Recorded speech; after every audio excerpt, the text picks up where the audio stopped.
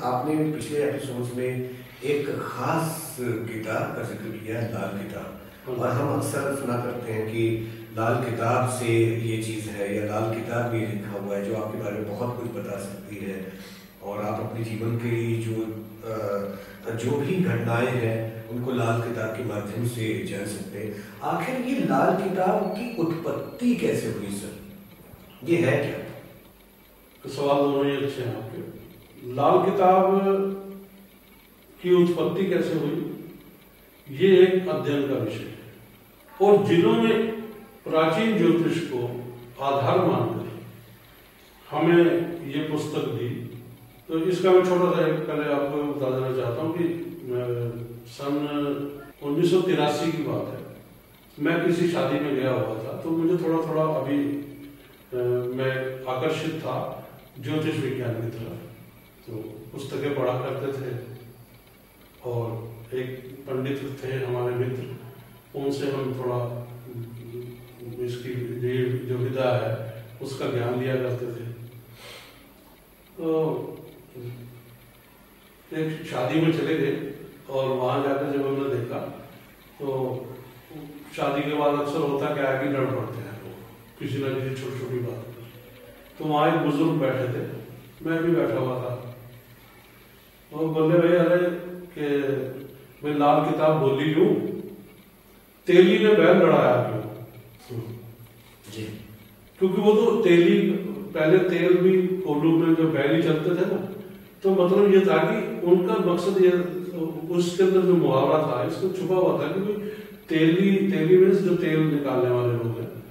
تو وہ وہ تھا کہ جس نے اپنا جو کولو میں چلنے والا بیل تھا وہ اس نے لڑایا کیوں کشتی کے اندر کیونکہ پتا تھا کہ اگر گھائل ہو گیا سین ٹوٹ گیا، مر گیا، تو اس کی تو روزی روٹی، اس کی عجیب کا ختم ہو جائے گی۔ تو میں نے ان سے پوچھا، میں نے کہا کہ یہ آپ نے جو ڈائلگ مارا ہے، وہ یہ کہاں سے ہے؟ بولا اچھا تمہیں پتہ ہی نہیں ہے اس بات کا۔ کہ یہ کیا چیز ہے؟ میں نے کہا مجھے نہیں پتا بتائیں گے۔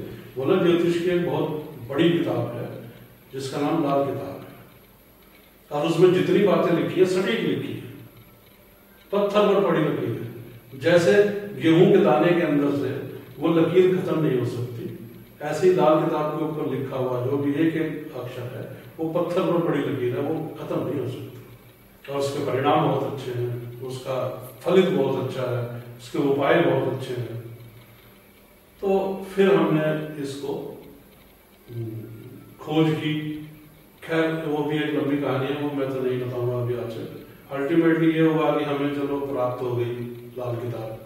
پھر ہم نے جو ہمارے ہمارے بھارت ورش کے اندر کالکا میں تھے شری کلا لال جی بڑے مشہور لال کتاب اسپیشلسٹ تھے وہ تو ہم نے ان کے پاس جا کر ان کی، ان کے چرن پکڑے کہ بھائی آپ ہمیں اس کا گیان دیجیے بس پھر ایسے یہ شروع ہوا۔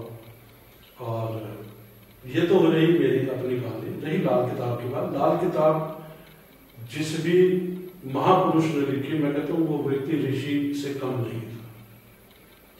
اور اپنے اس سینتیس سال کے انوبھو کے اندر، میں نے، اگر آج میں یہ کہوں کہ لال کتاب بہت چھوٹا شبد ہے، کتاب۔ پورا پراچین بھارتیہ جوتش اگر ہم تراجم کے ایک پلڑے میں رکھیں اور لال کتاب ایک پلڑے میں رکھیں تو وہ پھر بھی بھاگی رہے گی یہ اوپر اتنی سٹیک بھوشیہ واڑیاں اور اتنے سٹیک اپائے کارگر اپائے جنہیں میں کہوں وہ ہے اور لال کتاب میں خالی یہی نہیں اس کا آدھار جنہوں نے اس پر ریسرچ کی یا جس جنہیں میں کہتا ہوں کہ کیونکہ پتہ ہی نہیں ہے کہ کس ویکتی نے لکھی سچ بتا دیں آپ کو۔ کچھ پتہ نہیں۔ اچھا اتپتی انہوں نے کی یہ؟ پتہ ہی پتہ ہی نہیں ہے۔ اچھا اچھا۔ ہاں جی ہاں جی۔ وہ اس کو سماپتی نہیں کر پائے تھے۔ اوکے۔ ابھی لکھ رہے تھے۔ میں سمجھتا ہوں کہ شاید ان کی ڈیتھ ہو گئی ہو یا کچھ اور سمسیا کھڑی ہو گئی ہو۔ اس کارن وہ آگے نہیں لکھ پائے تھے اس کو۔ بہت سے لوگ کہتے ہیں لال کتاب کے بارے میں کہ بھئی یہ افغانستان سے آئی ہے یا پاکستان میں یا عرب کنٹری میں کسی نے لکھی۔ تو غلط غلط پرچار ہمارے جو بھارت ورش کی جو بھاشا تھی، وہ اردو تھی۔ اردو فارسی مکس تھی۔ تو ہمارے بزرگ، ہم ہندو ہیں، ہمارے بزرگ خود یہی پڑھتے رہے۔ آج تک بھی جو بزرگ ہمارے ہیں، وہ اردو میں ہی اخبار پڑھتے ہیں۔ تو وہ جنہوں نے لکھا، لکھی تو گئی ہے وہ انیس سو ایک یا دو کے آس پاس۔ ہو سکتا ہے وہ پہلے سے شروع ہوئی ہو۔ اٹھارہ سو کچھ سے شروع ہوئی ہو اٹھارہ سو نبے سے بھی ہو سکتی ہے، اٹھارہ سو اٹھانوے سے بھی ہو سکتی ہے۔ لیکن انیس سو دو کا لاسٹ ورنن ہے۔ تو اتپتی کا کارن جو ہے، وہ میں سمجھتا ہوں جنہوں نے یہ لکھا، وہ واستو میں رشی تھے اس کے بعد سے بہت سے لوگوں نے اس کو کسی نے کوئی نام دیا، کسی نے کوئی نام دیا۔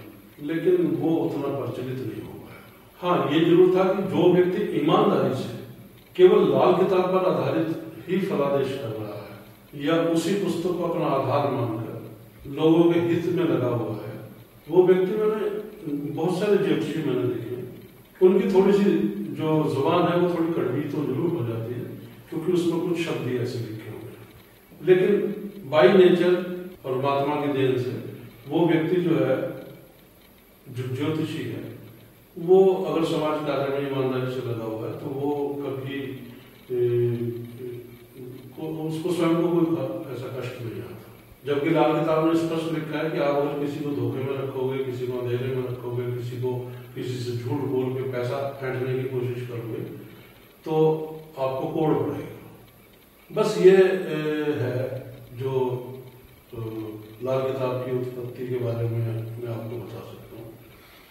اور جہاں تک لال کتاب کا مقصد تھا کہ جو جنہوں نے یہ لکھا جن مہاپروش نے ان کا بھی مقصد یہی تھا کہ سماج کے اندر جو کشٹ، پریشانیاں لوگ قرضوں میں دب رہے ہیں یا آتم ہتیا کر لیتے ہیں پریشان ہو کر مانسک روپ سے، تو ان کا نوارن کیسے کیا جائے؟ سماج کا ادھار کیسے کیا جائے؟ جیوتش کے ذریعے کیونکہ بہت بڑا وگیان ہے